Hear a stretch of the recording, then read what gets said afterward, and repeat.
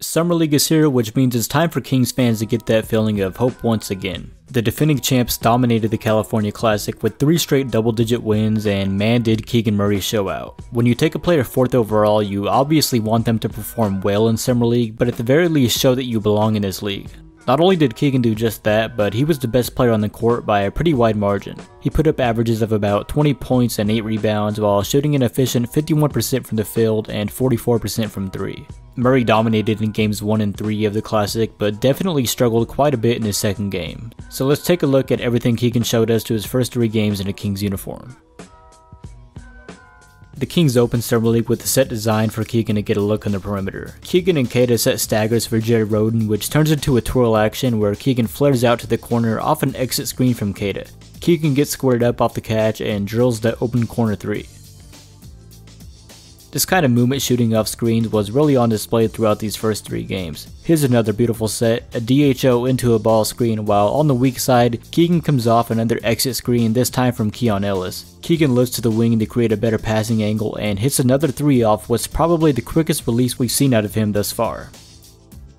This is probably the most intriguing play to me. Kings run staggers for Keegan, but watch how he sets his man up with his little stutter step hesitation that gets him enough space when coming off these screens. He doesn't even get squared up off the catch, yet he drills the movement jumper with no hesitation. Special stuff for a guy his size. Kings go to zoom action where Keegan hands it off to Ferrari, then proceeds to come off a flare from Queta. Miami switches off ball and off the catch, Keegan pump fakes to get his defender up in the air and from there a one dribble pull up into a midi. Love seeing him be able to attack closeouts like this. My guy Marksy on Twitter does some incredible work and he went through and individually tracked every closeout Keegan faced in the California Classic. He attacked a total of 23 closeouts and the results were as follows. 52% of the time resulted in a shot, drove 44% of the time, and made just one swing pass. So let's take a look at some of this in action. I've already shown a lot of the movement shooting that Keegan brings, but he provides value with the spacing regardless of the actions. Just this standstill catch and shoot ability is a huge plus, and we saw it in action a ton so far. Rather be in the half court or in transition, this ability is going to be there right away. With this kind of shooting ability, it's important Keegan is able to effectively attack closeouts off the dribble. We saw this with mixed results so far, but there have definitely been some positive signs. Here off the catch, he plants his right foot and explodes left, leans into the contact on the drive, and finishes at the rim with his left. Another situation where his threat from deep opens up a drive opportunity. Pump fakes to get his defender in the air and takes long strides to the basket. He gets a great look at the rim but just can't get the finish to go. The main problem with Keegan attacking off the dribble is he tends to have tunnel vision, really only looking to create for himself. He can get himself into bad situations or throw up wild shots at the rim because he isn't under control when the help comes. I want to see more simple reads like this. Two dribbles, draw the help, kick out to the corner. We did see flashes of this grab and go ability though, like here where he glides up the court, absorbs the contact, extends out, and finishes with his left. This off the dribble ability is still a big question with Keegan, but I do like that he's working on it in Summer League. Keegan said Khris Middleton is someone who he models his game after, and it's very evident when watching him. Queta sets a screen near the top of the key and Keegan catches his man sleeping, explodes off the pick, and quickly gets downhill creating a 2 on 1 advantage. Takes a couple dribbles before rising up for the off balance midi and that's money. This time Keegan is patient and waiting for the screen. He gets around the pick with one dribble, slight hezzy, and 1-2 steps into another mid-range jumper. We didn't see a lot of this in between game at Iowa, so I love seeing him work on it here. Everyone always talks about how Keegan's post game won't translate to the NBA because teams won't run post ups for him on this level in general. And for the most part that's true, but there will be some instances here and there where he gets his chances and we saw some of it in Summer League. Here Keegan slices to the strong side block and the defender lets him get way too good of positioning. He makes himself available with active hands, catches, drop steps into an easy dunk. Here he catches it and initially faces up to see where the help is coming from. He knows he can spin baseline and then drills the off balance extremely tough fadeaway. Sacramento ran the same action on three consecutive possessions in this first game, basically designed to get Keegan a face-up opportunity in the high post or slot area. This first possession he hits the defender with a rocker step or a shimmy jab and drives left into the defender's body. He doesn't get the initial awkward finish to go, but he has a quick second jump that would make Bagley proud and he puts back his own miss. Next time down, he gets the ball a bit higher in the slot area and utilizes fakes and jabs before attacking the left. This time he gets cut off, so he spins middle, elevates, and double clutches in the air to get the tough bucket to fall. And on the third possession, Keegan is being overplayed, so he makes a strong back cut to take advantage. This is a great pass from Ferrari, leading Keegan to the basket, and Murray is able to locate the ball in the air and finish all in one motion. The basket counts due to a goaltend, and this just shows you some of the high IQ and instincts Keegan has.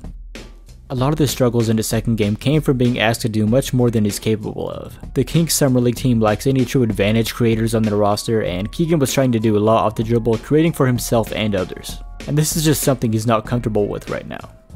Here he rejects the kid screen but doesn't come off hard enough to generate an advantage and he picks the ball up in a bad spot. Instead of being patient and waiting for a better angle, he tries to force a cross-court pass but it gets tipped and stolen.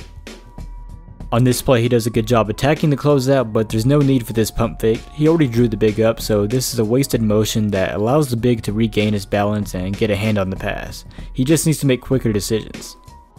And then here Keegan is isolating against a guard at the top of the key, but he just doesn't have a tight enough handle to get away with it. He does show great effort in hustling back and saves a basket with a block though, making up for his mistake.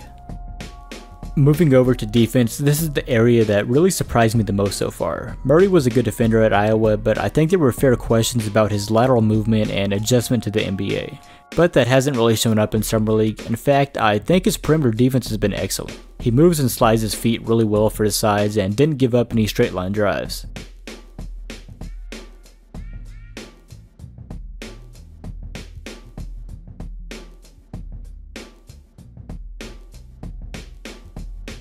One thing that really stuck out to me is his deceleration. He's had the ability to start and stop when defending guards and it's really impressed me. Guard gets downhill and jump stops in the paint. Watch Keegan plant his back foot and lunge forward for the contest. Never loses his balance.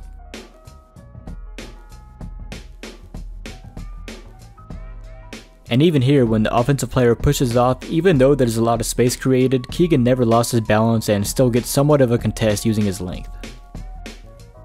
There have also been flashes of a much improved hip speed in Keegan that I just didn't see from him in Iowa. If he can keep up and continue to improve his mobility on the perimeter, he could probably become a much better defender than people realize, myself included. My main question with him was always that I didn't think that he could flip his hips quick enough, nor have the lateral quickness necessary, but there's a good chance that I was wrong here.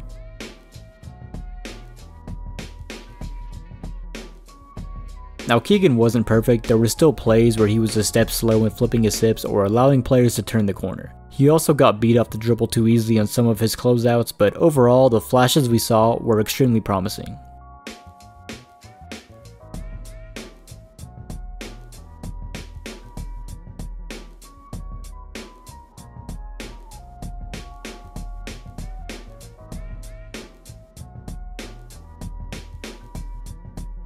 Keegan talked about how he wants to get better at defending the pick and roll, but I thought his screen navigation has been really solid so far. He definitely puts the effort in to get over screens and he isn't afraid of making that initial contact with the screener. Plus his length and size helps him in his recovery, being able to alter shots from behind. His anticipation of screens was great, which leads me to believe the communication on the court was there. But if he can continue to anticipate and get skinny through screens, then maybe he will be able to defend threes in the NBA.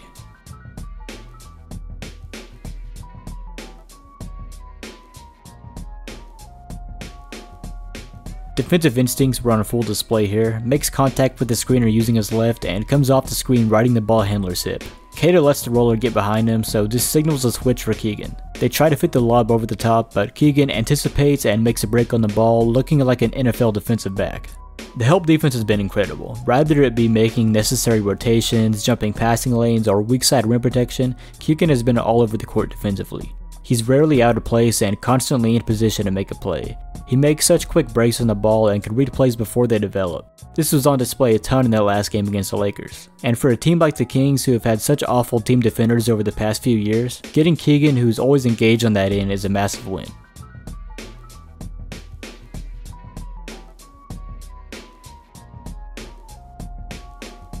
So I hope you guys enjoyed this breakdown and let me know what you would like to see next. I have a ton of content planned over the next month or so, and potentially even more on Keegan depending how Vegas goes. Anyways, thank you guys for watching, and see you next time.